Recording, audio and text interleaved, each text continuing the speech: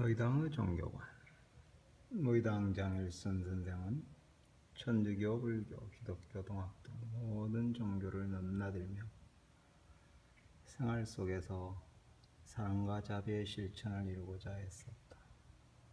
예수와 노자, 석가모니와 해월, 공자와 바울, 뛰어오르지 있는 무의당의 종교관은 종교를 위해서 종교가 있는 것이 아니라 사람을 위해서 종교가 있어야 한다. 는 말에서 잘 나타난다.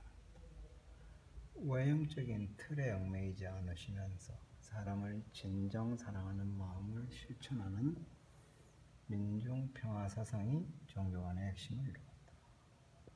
의당과 뜻을 함께한 신부님과 목사님들은 서로 생활 속에서 교류하였다.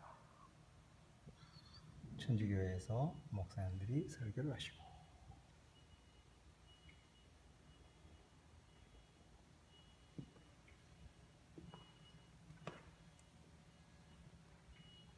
Thank you. 고맙습니다.